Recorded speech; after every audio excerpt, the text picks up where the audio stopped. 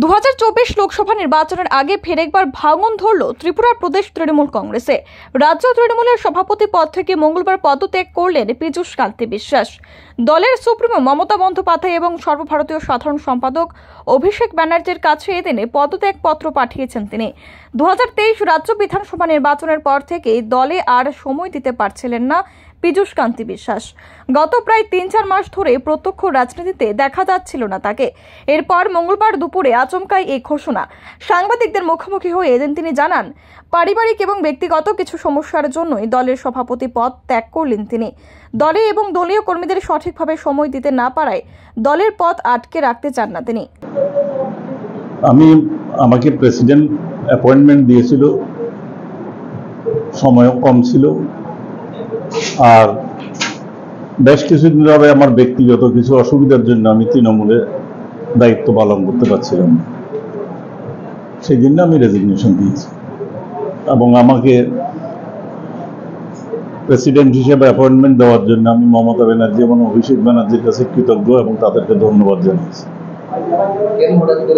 ব্যক্তিগত কারণে আমি অনেকদিন আপনারাই দেখছেন, আমি ইলেকশনের পরে আর কাজ কর- করার মতো সব ব্যক্তিগত কারণে অসুবিধা অসুবিধার জন্য আমি সময় দিতে পারছিলাম না।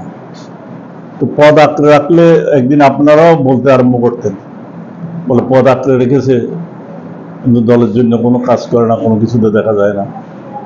আমি কি আমার আমার মনে হয়েছে যেহেতু আমি কাজ করতে পারছি না সেই জন্য আমার রেজিগনেশন দেওয়াই উচিত। সেই কারণে আমি রেজিগনেশন দিয়েছি। আজকে একটু এখন থেকে আধা ঘণ্টা আগে ওই চিঠি কি কোনো আহ, আপনাকে না মাত্র আমি পাঠিয়েছি।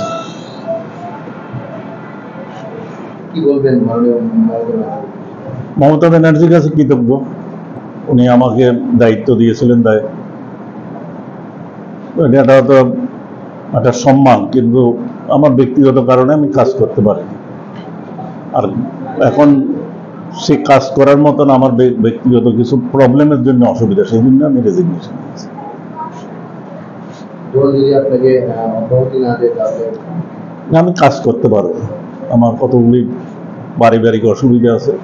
লোকসভা নির্বাচনের আগে পীযূষ কান্তি বিশ্বাসের পদত্যাগের সাথে সাথে রাজ্য তৃণমূল কংগ্রেসের মেয়াদ সমাপ্ত হলো বলে অভিমত রাজনৈতিক মহলের।